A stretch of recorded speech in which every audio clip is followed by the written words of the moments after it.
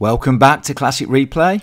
In this episode, we'll be taking a peek into the world of the renowned Apple II, the computer that helped to revolutionize personal computing in the 1980s. The Apple II helped pave the way for contemporary computing as we know it, with its sleek form, innovative features, and diverse variety of applications. The Apple II has made an unmistakable influence on the history of technology. From iconic games like the Oregon Trail and Prince of Persia to the pioneering applications like VisiCalc and AppleWorks. The Apple II has made an everlasting effect on technological history. In this video, we'll look at all the numerous marvels of this legendary system. I'm talking iconic gaming software. Now for something different. Let me tell you a tale about a game so grand. It left us all spellbound in a magical land. The Bard's Tale was its name on the Apple II computer, a game that brought adventure with each step and each figure. With a lute in his hand and a song on his lips, the Bard set forth on his epic trips. Through dungeons and forest he roamed free. With each quest his legend grew for all to see. Oh, let me tell you about a game so fine. A classic one from another time. It's called Bruce Lee on Apple II, and I'm gonna rhyme it up for you. The game's a martial arts masterpiece, filled with kicks, punches, and fierce beast. You take control of the man himself and battle foes with speed and stealth. The game's a classic in every sense, filled with action, puzzles, and suspense. You take on the role of the Dark Knight and fight against evil with all your might. The graphics may be old and lo-fi, but the gameplay still makes you feel alive.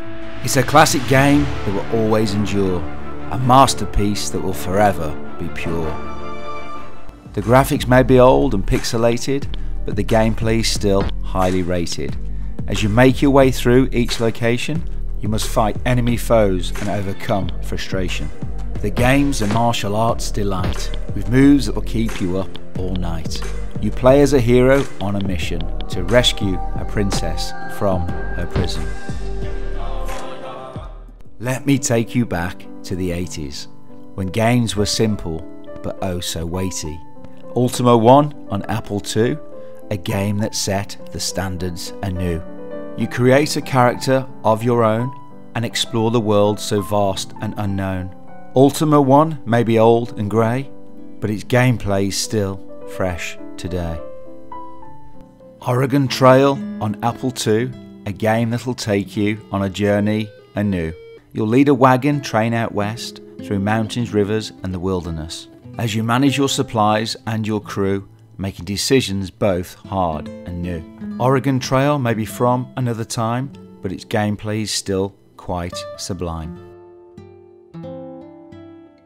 Come, retro gamers, gather round with glee, and let me tell you of a game, Choplifter by name, on Apple II, it was a sight to see. You take the reins of a chopper so bold and fly into enemy territory so cold. Your mission is to save hostages, one and all, but beware of the foes, both big and small. A game from the past, so long ago. A game called Lode Runner, don't you know? The game was simple yet so clever. With traps and ladders, it was a game forever.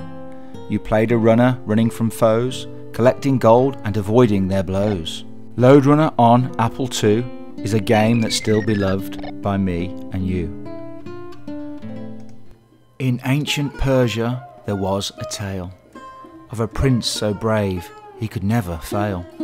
On Apple II, his story unfurled a game that was both daring and surreal. The prince was locked in a dungeon deep, with guards and traps he could not sleep. But with his sword and wit so keen, he fought his way to be the prince so serene. A classic that will never be surpassed, a game that forever will last.